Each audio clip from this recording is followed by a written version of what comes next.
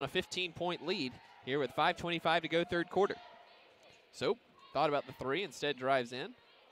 Sarda will take the three behind the Garcia pick and knock it down.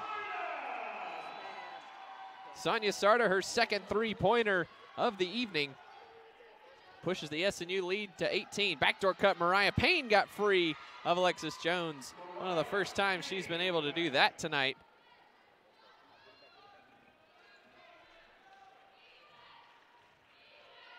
Payne just four points tonight.